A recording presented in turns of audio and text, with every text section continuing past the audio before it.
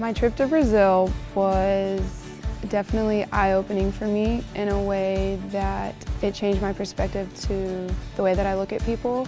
When I heard about SIMS, I thought it was an awesome opportunity to experience a different culture through Christ and see how another culture interacts with the church and with how they view God and how they love other people through God.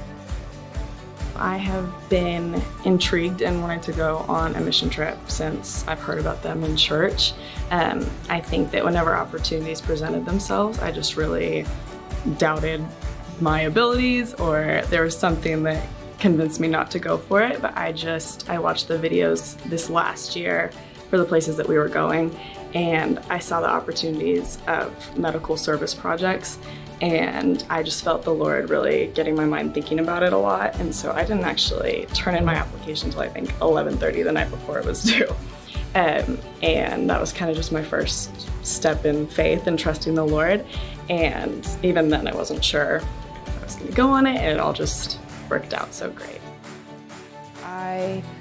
Uh, went into the trip expecting that God was going to use me to change the people in Brazil and um, impact their lives in a way, but I wasn't exactly ready for everything that God was going to show me. And within each family, He showed me just what it means to love unconditionally. And personally, I struggle with accepting love, and I tend to guard my heart more than I should. And God was just trying to show me that it's okay to, to let people in and to let people love you with everything that they have.